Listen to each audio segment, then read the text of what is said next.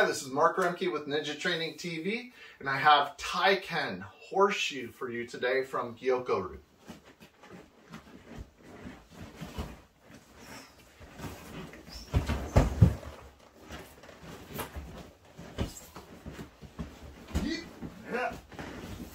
Yeah.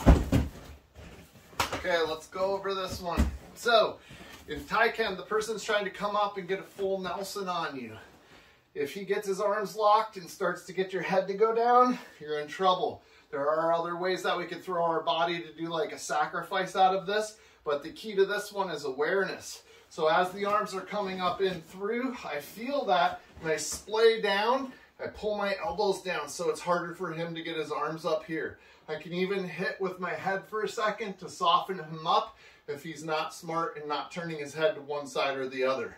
Then I'm gonna grab into his hands, his yubitsubu, right between your thumb and the pointer finger and that soft part, and dig my nails into there. As I step out to the side, I lock one of his arms around at the elbow level, twist and turn, and you can let people with less ukemi roll out of it, but you can also just snap the arm and do a break in here. So, pretty effective.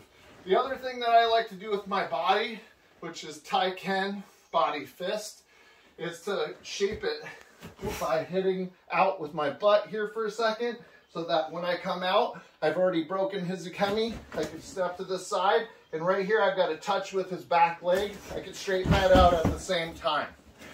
You could hold on the hands, you could break fingers, there's all sorts of good stuff to do at the end there. So, this is Taiken Horseshoe from Gyokko-Ryu. And if you like this, and many other things, keep watching our channel.